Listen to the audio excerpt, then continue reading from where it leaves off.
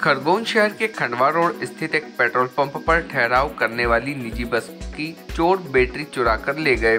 सुबह जब बस स्टार्ट नहीं हुई तो जाँच करने पर बैटरी चोरी होने का पता चला।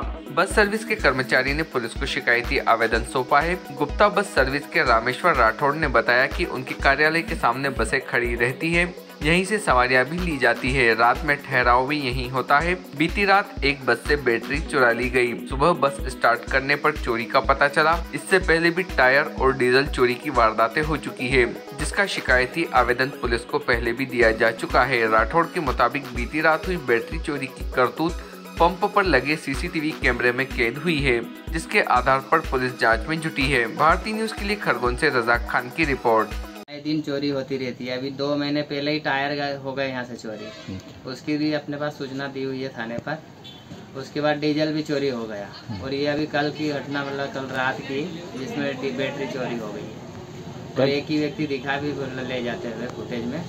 क्या कीमत आए दिन होती हाँ, रहती और यहाँ आए दिन चोरी होती रहती है क्या कीमत क्या है बेटी दस हज़ार के समथिंग है। की शिकायत की आपने थाने हाँ की है ना।